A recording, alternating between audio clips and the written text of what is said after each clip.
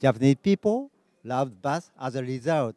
Sento is a part of Japanese traditional culture. When you take off your clothes and enter Sento, anyone can overcome race and nationality and interact with others as just a person. When you come visit Osaka, Japan, please stop by our center, Shinsekai Rajimon Sen, under Tsuten Tower. Osaka's iconic. Thank you very much.